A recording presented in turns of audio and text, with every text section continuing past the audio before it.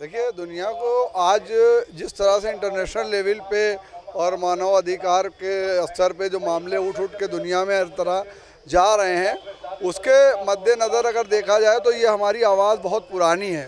انیس سو پچیس سے لگاتار یہ جب سے منہدم ہوئے روزے، اس کا احتجاج جاری اور ساری ہے۔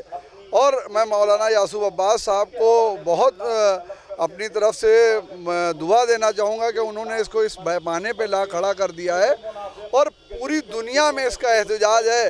شہزادی کی مزار کو بڑے ظلم کے ساتھ ڈھا دیا گیا اور ساتھ ساتھ تمام نواسہ رسول وہاں دفن ہیں۔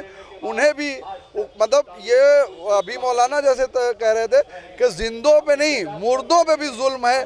یہ کس طرح کے حکومت ہے؟ اور سعودی حکومت سے لگاتار یہ مانگ ہو رہی ہے۔ اس کے بعد روزوں کا نہ بننا، دنیا کس طریقے سے دیکھ رہی ہے، کتنا ظلم ہو رہا ہے، یہی سب سے بڑا آتنکواد ہے۔ دنیا اگر دیکھے تو آتنگواد کی بنا ہی یہی ہے کہ شہزادی کے در پہ یا در گرایا گیا یا شہزادی کی قبریں کھو دی گئیں، جو بھی دنیا میں آتنگواد ہے اس کی بنا یہیں سے ہے۔